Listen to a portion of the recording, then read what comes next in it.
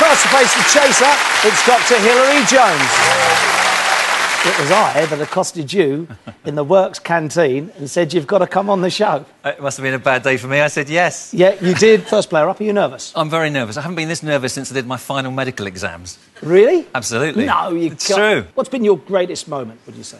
Oh, I guess uh, I think delivering a baby um, in uh, Haiti after the after the earthquake. We went to the hospital to talk to these people. and In came a lady in labour. We had the camera rolling. She said, "Yes, we can film her." I delivered the baby. TV gold. Wonderful. You're kidding. No, it's beautiful. That Beautiful is moment. fa- I didn't know that. That, that is the expression. I need popped out for a loaf of bread. That is, that is mad.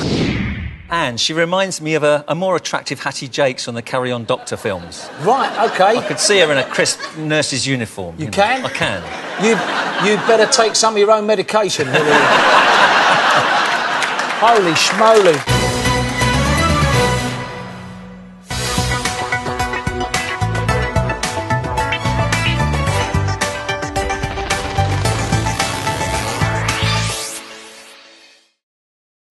Potato.